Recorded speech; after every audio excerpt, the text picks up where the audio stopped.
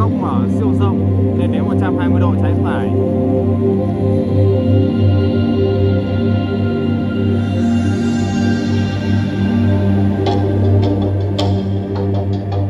Góc mở rộng nên là định hướng tốt, có thể ờ, chơi solo không gian lớn được.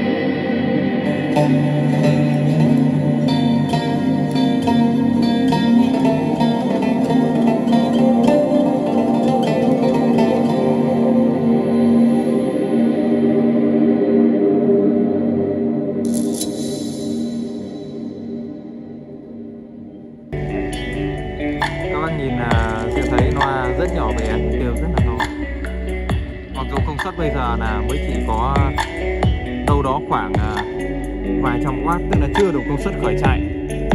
À, nếu như các bác mà đánh EDM nhạc à, vũ trường nhạc sàn hay là gọi là chơi nhạc ngoài trời ấy thì công suất ít nhất là phải đủ công suất khởi chạy của loa đấy là cái tối thiểu. Còn đây là dưới cái ngưỡng gọi là khởi chạy.